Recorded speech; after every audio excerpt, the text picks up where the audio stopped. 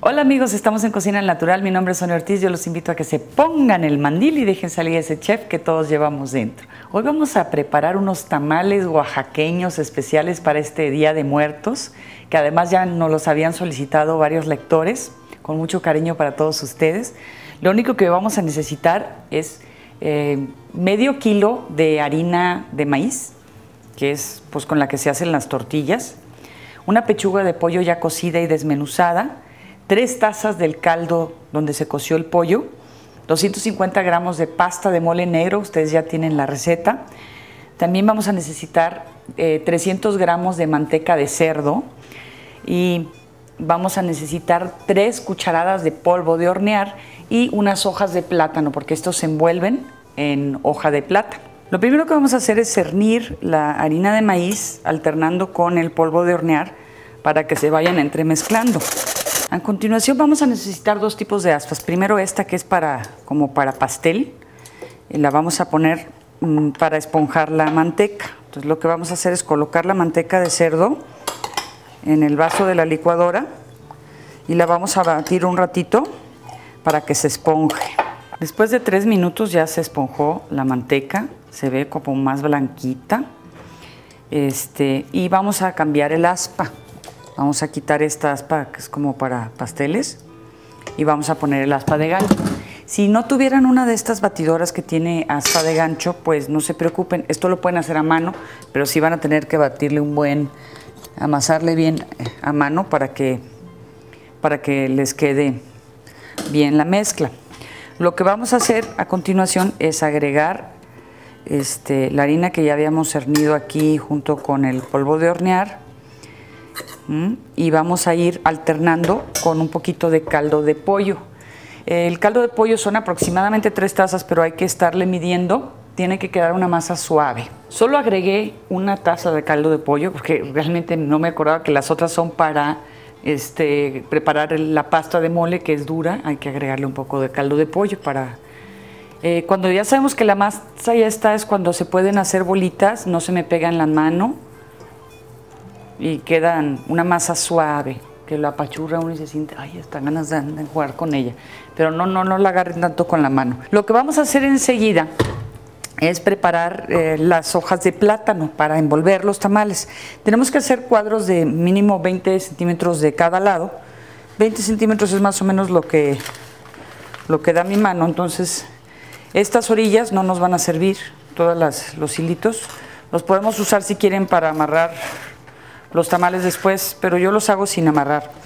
Pero en las hojas, en lo que queda, vamos a, a medir, aquí ya me dan los 20 centímetros, que es más o menos lo que mide de lado a lado mi mano y voy a poner esta marca aquí y aquí voy a cortar, voy a hacer un cuadro. ¿Sí? Y vamos a seguir así haciendo cuadros para poder hacer nuestros envoltorios de tamales. Y lo que vamos a hacer enseguida es ponerlos en una olla con agua hirviendo, los, los trozos. Agarren una pinza, no se vayan a quemar. Los vamos a sumergir y este, los vamos a dejar que se cuezan hasta que cambien de color, más o menos unos 5 minutos. Y esto lo que hace es que las hojas se vuelven flexibles, si no tratamos de hacer los tamales se nos van a romper todas. Otra cosa importante es que las hojitas sean lo más verde tierno que encuentren para que sea este, la hoja de plátano muy tierna, porque si no sí se nos rompen todas las hojas. Mientras se suavizan las hojas, vamos a poner la pasta de mole y agregarle caldo de pollo para que se diluya un poco y nos quede un mole, este, una pasta que no sea tan dura, ¿verdad? sino que sea como un caldito, porque este es el que vamos a utilizar para los tamales. Ya con las hojas bien escurridas las vamos a colocar en una superficie así y vamos a, aplastar la masa con los dedos. Vamos a hacer suficiente masa como para que se haga, no importa que se haga redondito así, luego los vamos a hacer cuadrados, van a ver cómo. Ya que quede una capa delgadita, que se siente que, que sí tiene masa pero no tanta, Vamos a tomar un poco del mole este que ya diluimos con el caldo de pollo y la vamos a untar bien. Luego le vamos a poner un poquito de, pollo en el centro y a continuación vamos a doblar con mucho cuidado como, como quisiéramos hacer una quesadilla. ¿Mm? Vamos a doblar de manera que y enrollar el tamal. Luego vamos a hacer como un corte con la mano casi hacia el final de donde está la masa y con la otra. Y ahí es donde vamos a doblar. Va a quedar un pedacito de masa como que aquí, pero así quedan. Los hacemos así y ya tenemos como una especie de triangulito o cuadrito.